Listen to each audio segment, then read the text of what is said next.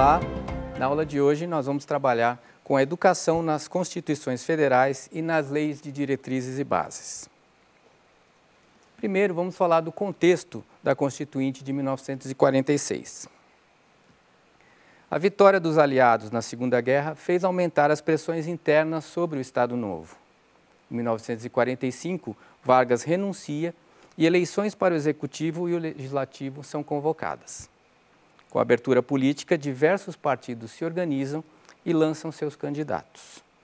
A Constituinte iniciou os trabalhos em fevereiro e a Carta Constitucional foi promulgada em 18 de setembro de 1946.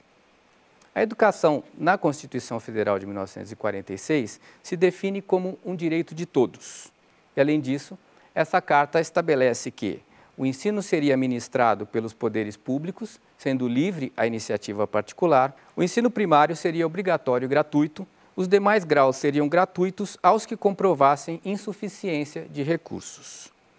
O ensino religioso seria facultativo nas escolas oficiais e ministrado segundo a religião do aluno, sendo consultados os pais. Ainda na Constituição de 1946, se definiu que, anualmente, a União aplicaria o mínimo de 10% e os estados, o Distrito Federal e os municípios, um mínimo de 20% da renda tributária na manutenção e desenvolvimento do ensino. Os estados e o Distrito Federal deveriam organizar seus sistemas de ensino, cabendo à União cooperar e auxiliar financeiramente. Caberia à União legislar sobre as diretrizes e bases da educação nacional. No contexto da LDB, o Brasil toma partido no contexto da Guerra Fria, aderindo à Aliança para o Progresso, política estadunidense voltada aos países do continente. O governo adota a ideologia nacional desenvolvimentista, com políticas de Estado que visavam a modernização, industrialização e desenvolvimento científico.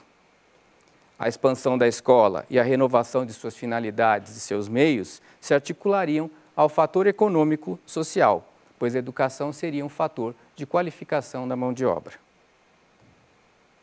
A Lei de Diretrizes e Bases tramita lentamente e esse processo vai durar 13 anos. Em 1948, uma comissão com a participação de pioneiros apresentou um anteprojeto de orientação liberal e descentralizadora.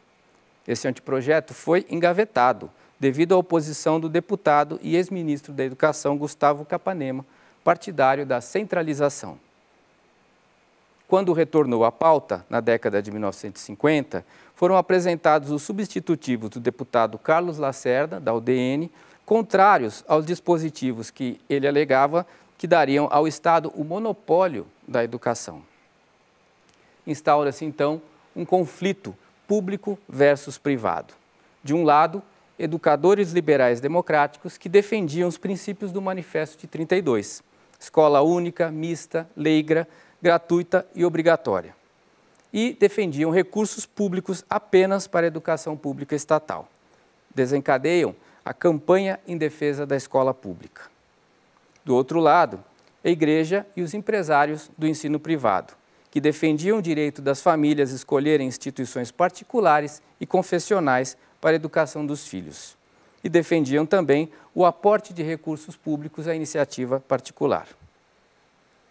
A LDB, como disse, depois de 13 anos de tramitação, a LDB 4024 de 1961 manteve a organização das leis orgânicas, exceto pela flexibilização dos currículos e aproveitamento de estudos entre os ramos técnicos e acadêmicos, sendo isso uma vitória dos conservadores. Manteve a autonomia administrativa dos estados em relação ao ensino primário e normal, sendo esta uma vitória dos liberais. E ofereceu subsídios ao ensino privado, em forma de bolsas de estudo e financiamentos para obras de infraestrutura, sendo esta uma vitória dos privatistas. O contexto da Constituinte 1966-1967 se dá em plena ditadura militar, com preponderância do Executivo e das Forças Armadas. Na economia, o modelo nacional desenvolvimentista é associado ao capital estrangeiro. Há um alinhamento político, ideológico e militar aos Estados Unidos. Há também a reação e repressão aos movimentos sociais, por exemplo, o movimento estudantil e as doutrinas subversivas ao regime. Atos institucionais e emendas alteram a Constituição de 1946 com a supressão de liberdades civis e políticas. Com relação à educação na Constituição de 1967, vale lembrar que a Constituição Federal foi instituída para representar a institucionalização dos ideais e princípios da Revolução e assegurar a continuidade da obra revolucionária. No que tange à educação, seus artigos quase não alteraram os da Carta de 1946, exceto pela definição da faixa de obrigatoriedade do ensino, de 7 a 14 anos, pela retirada da obrigação que cabia à União aos estados e municípios de aplicarem percentuais mínimos da renda dos impostos.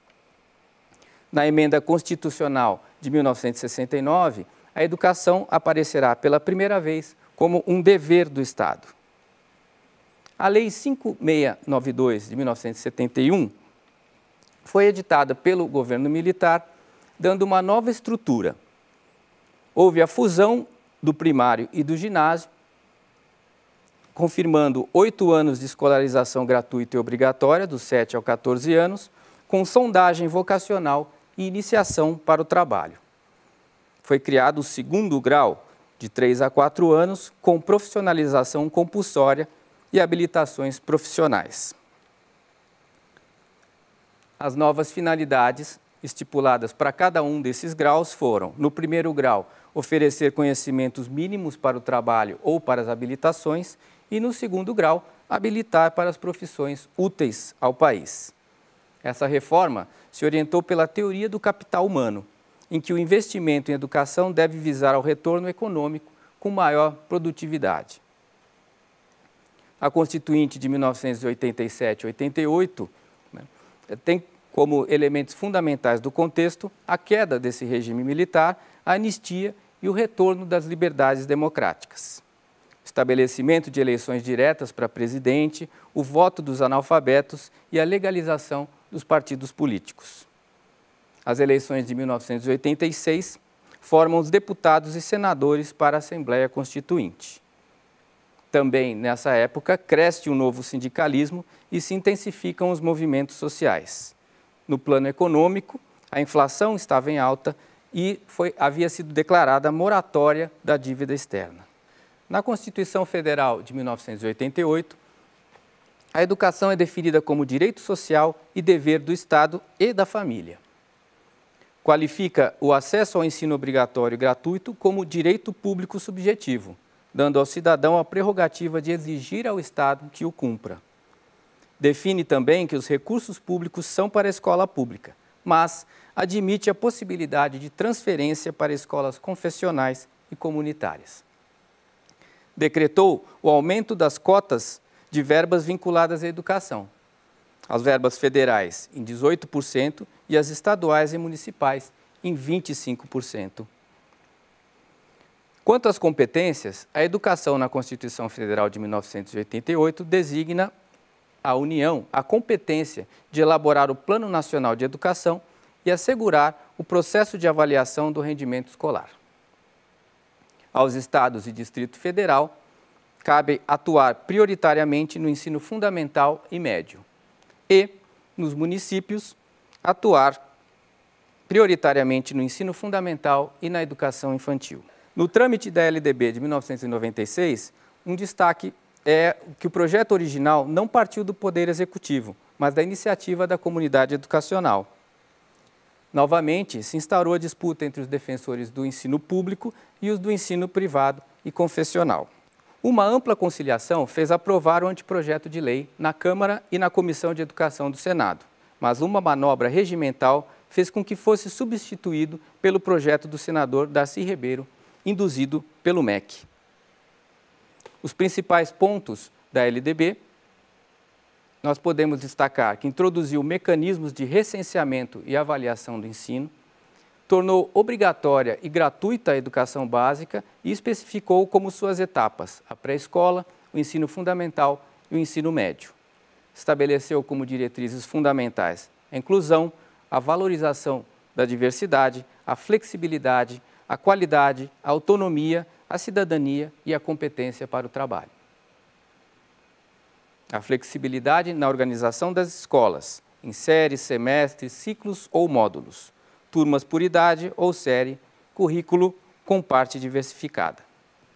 É isso, nós falamos da educação nas constituições federais e nas leis de diretrizes e bases. Espero que tenham aproveitado e até uma próxima.